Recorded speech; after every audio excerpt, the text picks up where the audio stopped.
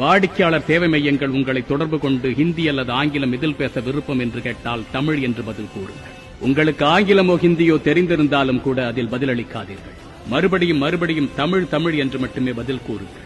ஒருவேளை அந்த சேவை மையத்தில் தமிழில் பேச ஆள் இல்லை என்று சொன்னால் புதிதாக பணியமர்த்தட்டும். தமிழ்நாட்டில் வியாபாரம் வேண்டும் வாடிக்கையாளர்கள் வேண்டும் ஆனால் நீ தமிழ் பேச மாட்டாயா?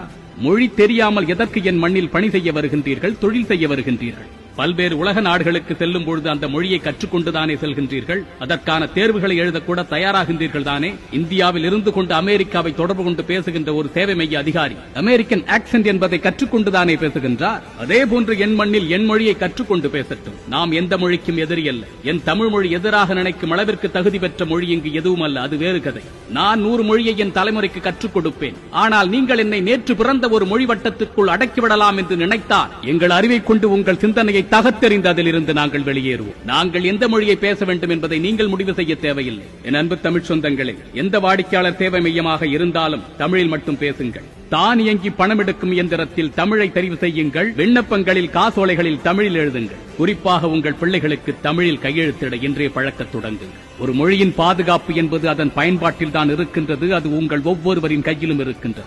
என் தமிழ் எனது பெருமை மட்டுமல்ல எனது உரிமை.